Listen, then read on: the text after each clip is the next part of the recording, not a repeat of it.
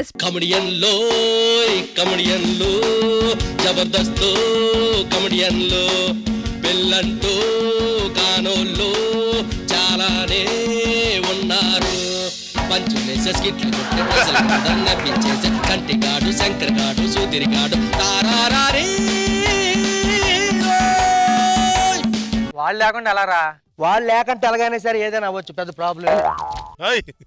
Sorry అండి చూడకంటే గుద్దీశాను. పర్వాలేదు నేను చూసే గుద్దాను.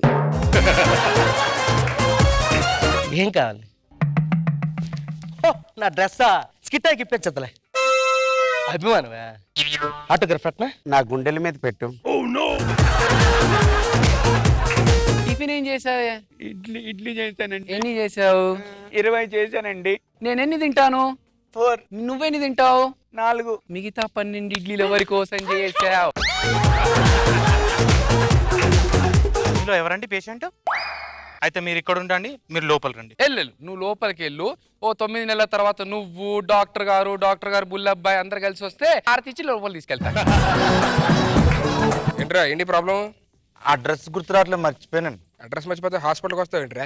పోలీస్ స్టేషన్కి వెళ్ళాలి కానీ. అదే పోలీస్ స్టేషన్ కూడా గుర్తు రావట్లేదండి. ఏదైనా టాబ్లెట్ ఇస్తే గుర్తు వస్తుందని వచ్చానండి. అర్జెంట్గా బ్లడ్ టెస్ట్ చేయి. అదేనండి బ్లడ్ లాగా టెస్ట్లలో వచ్చాయండి నీదేను నీ వెనకాల అమ్మాయి ఉంది కదా ఆ. ఇద్దరు ఎరిపప్పులే దాని టెస్ట్ నీకు కూడా సరిపోయింది. చూసావా? ఎంత క్లియర్గా వచ్చిందో బ్లడ్ రిపోర్ట్లో మొత్తం. నా టెన్త్ క్లాస్ మార్కులు వచ్చా చెప్పరండి ఇప్పుడు నిన్ను చూస్తుంటే నీ స్వామి రంగా అమ్మా. ఇప్పుడు వేస్తా. ఏమైంది?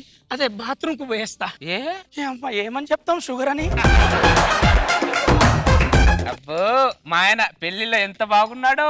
ఆ మీసాలు ఆ కళ్ళు. రేచికటి పాడుగాను. నాకు రేచికటి అంటే నాకు ఎనిమిది తర్వాత కనబడదు అంతే.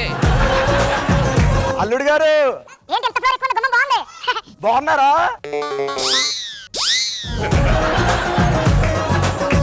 రోజు నా పిఏ బాధపడుతున్నాడు ఆటోలో వస్తున్నాడు కదా అనుకొని నేను ఒక కారు కొనిద్దాం అనుకున్నా. కారు కొనిద్దాం అనుకున్నారా? ఆ. Sir sir sir, sir. పెద్ద రైటర్ ఉన్నాడు సార్ మన దగ్గర.